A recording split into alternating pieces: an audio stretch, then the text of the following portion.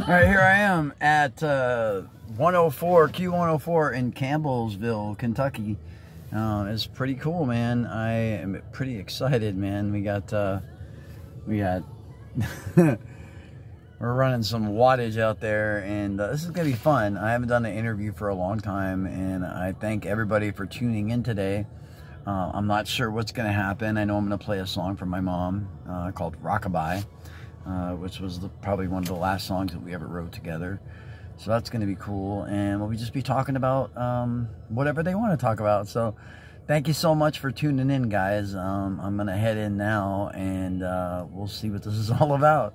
I'm excited. Woo! Can you tell? All right.